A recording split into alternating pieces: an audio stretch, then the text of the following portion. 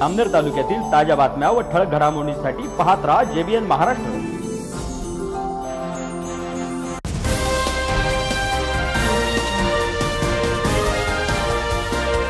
नमस्कार मी विनोद चौधरी. पाहूया काही ठळक वृत्त. जामनेर तालुक्यातील पाळधी गावात बैलपोळा हा सण मोठ्या उत्साहात साजरा करण्यात आला. आगळ्या वेगळ्या पद्धतीने हा बैलपोळा हा सण साजरा करण्यात आला असून तरुणांनी पैसे जमा करून यावेळी डीजे लावून गावातून बैलांची मिरवणूक काढण्यात आली.